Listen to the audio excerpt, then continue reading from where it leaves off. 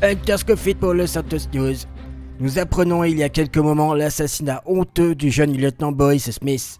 Le LS Anonymous vient de publier il y a peu un communiqué ainsi qu'une vidéo dans laquelle on peut apercevoir des terroristes se réclamant du cartel pour ensuite abattre froidement Monsieur Smith.